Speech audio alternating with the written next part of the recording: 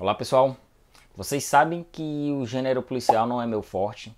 Há algumas semanas eu fiz um vídeo sobre o assassinato do Expresso do Oriente da Agatha Christie e realmente não foi uma das grandes leituras que eu fiz. Inclusive muita gente assistiu, muita gente comentou esse vídeo. Mas em agosto, o clube de assinaturas da TAG é, enviou esse livro do suíço Frederic Duremat, Duremat, não sei a pronúncia certo, mas quem souber me avisa.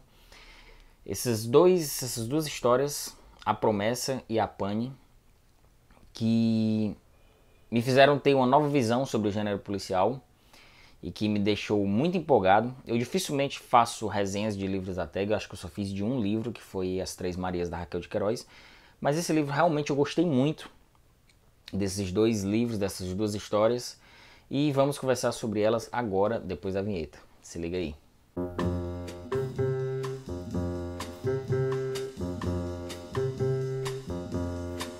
Pessoal, já vou pedindo para vocês darem o um like nesse vídeo, se inscreverem no canal, ative o sininho de notificação que assim você fica recebendo toda semana as novidades do canal, toda terça-feira tem vídeo e às vezes eu coloco vídeo às sextas-feiras também. Mas vamos falar aqui desse escritor suíço, Frederic Durremat, um teatrólogo muito famoso na Suíça, é um escritor também muito famoso, morreu em 1990, aos 69 anos. E esse livro foi indicação de agosto da Tag Curadoria, feita pelo Cristóvão Tesa.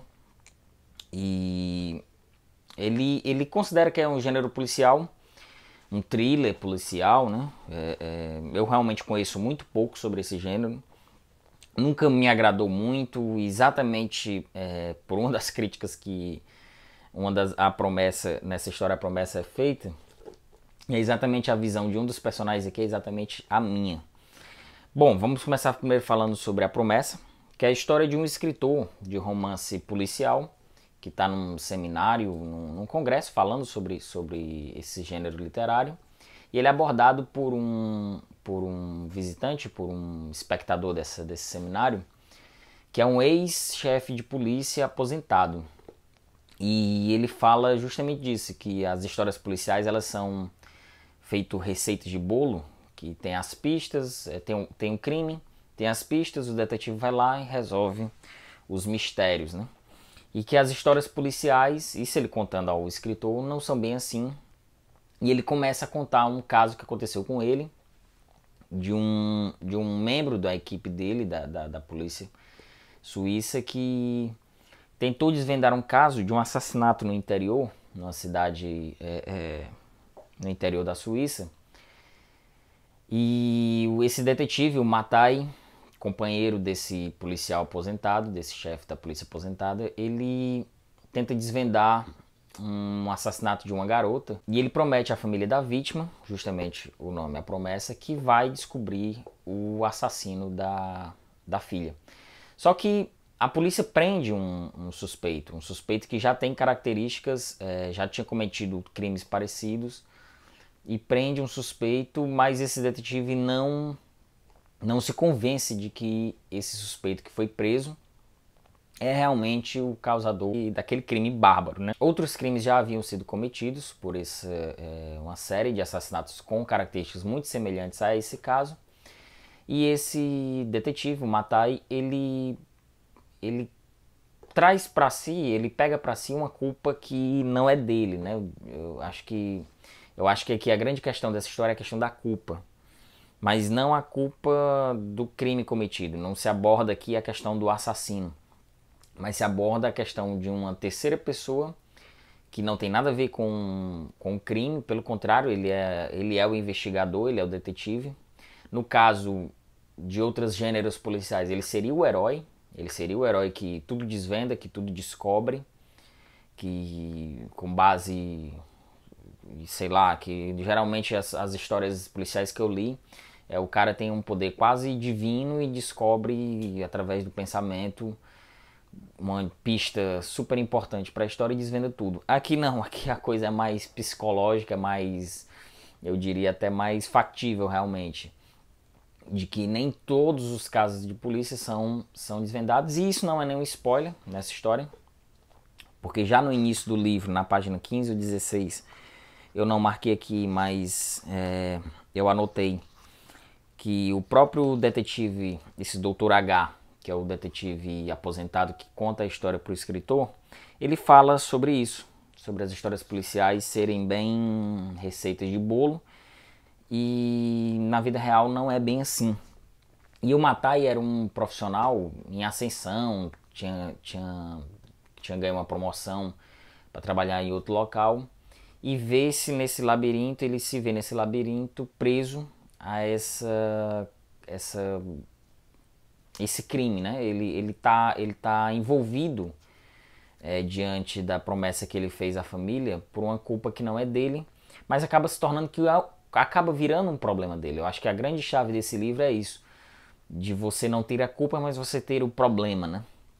E o do remate na, na trajetória dele, pelo que eu pesquisei, ele sempre trata muito disso, da questão da culpa, da moral, das questões políticas da Suíça. Pode não parecer a, a uma primeira visão, mas tem certas condições políticas envolvidas em cada uma dessas duas histórias. Eu identifiquei mais na Pane, que eu achei até melhor. É difícil dizer qual é melhor porque as duas histórias são muito boas. Porque, de certa forma, o suspeito que, que ele é preso, que apresenta características bem, bem fortes daquele, daquele, daquele crime, ele é carregado também de preconceitos. É isso também que o autor quer jogar. Apesar dele, será que ele é culpado de fato? E se ele não for, o que, é que a sociedade está fazendo em relação a ele, né? Então eu, eu tirei esses, essas observações, não sei assim se foi intencional do próprio autor, mas a Pane eu vejo como mais uma questão realmente mais política e a gente vai falar dele agora. A Pane é o seguinte, é a história de um representante comercial, um caixeiro viajante, o Alfred Taps, Traps, eu anotei algum canto, enfim. É, ele se vê, o carro dele deu prego, deu uma pane, por isso o nome da, da história.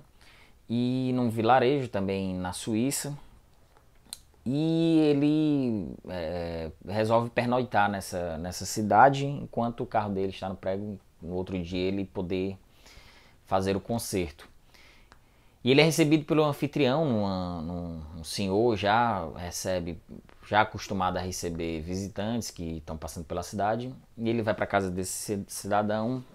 E esse cidadão já estava com uma festa marcada para essa noite, uma reunião entre amigos, mais três amigos aposentados e convidam o Alfred para participar também desse jantar. E nesse jantar, todos esses, esses homens é, anciãos já, já são aposentados, eles resolvem fazer uma brincadeira, uma brincadeira jurídica, né? vamos dizer assim.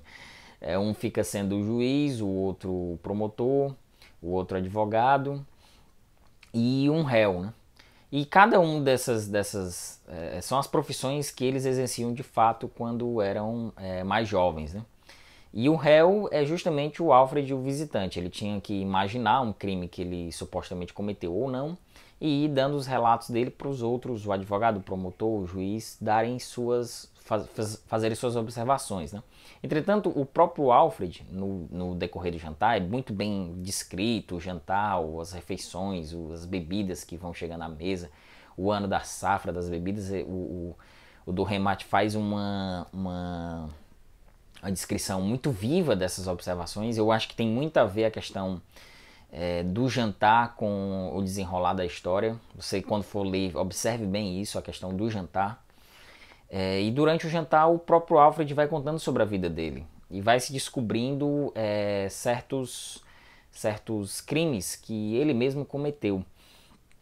E essa história eu observei que ela é um pouco mais política porque conta da ascensão da, da Suíça dos anos 50, dos anos 60, dos representantes comerciais, da, da, da explosão econômica da Suíça, da distinção da riqueza suíça.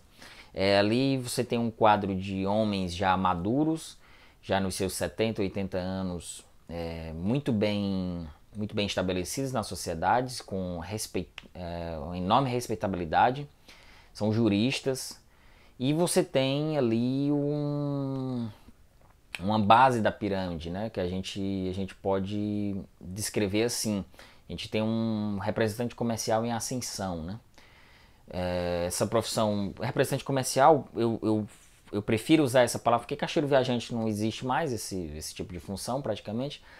É, o representante comercial, ele, ele inclusive ele é mais é, é, o do Remar deixou mais essas descrições bem exaltadas de representação comercial, até pelo jeito de falar, até pelos trejeitos, até pela ascensão do negócio dele.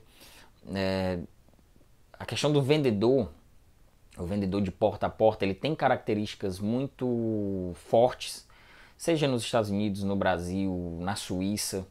É, é, a questão da venda, a questão mercadológica, ela, ela apresenta uma certa eu não sei assim, uma certa agressividade, eu não sei se a palavra é essa, mas uma certa voracidade em relação a, a, a cumprimento de metas, por exemplo, a convencimento, a até fugir um pouco de uma ética para você tentar é, vender aquele produto, né? E isso eu notei isso muito forte no Alfred, no, no personagem.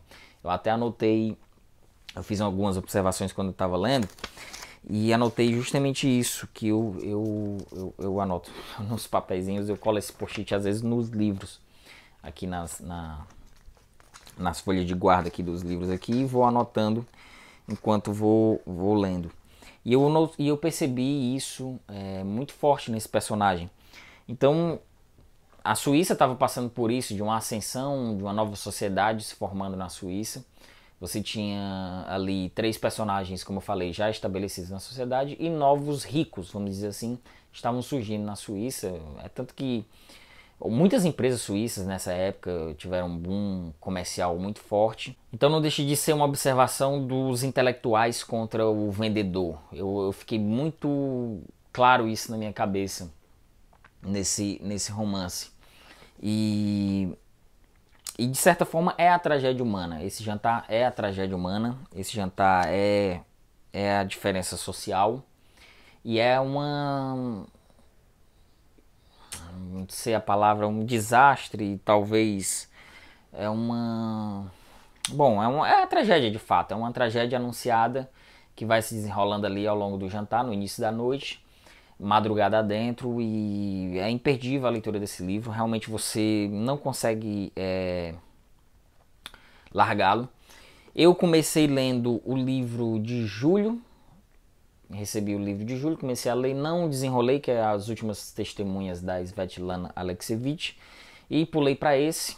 Tô lendo ainda o de julho. pulei para esse, mas esse assim eu li em dois dias, eu não larguei. Dois, três dias eu li. E recomendo também a leitura, caso você não seja assinante. É, parece que dá para comprar na loja da Tag o livro isolado, eu não sei muito bem. Mas se você quiser assinar ou quiser comprar esse livro, assina através do meu link, do meu código pro, promocional que eu vou deixar aí embaixo. Você ganha desconto e eu também ganho. Todo mundo ganha, todo mundo é feliz. Lê um bom livro indicado pelo grande Cristóvão Teza.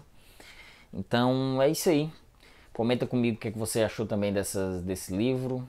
Se você tem algum comentário a acrescentar, pode ficar à vontade para participar aqui nos comentários. Deixa o like nesse vídeo, compartilhe com os amigos. E é isso aí, pessoal. Tchau.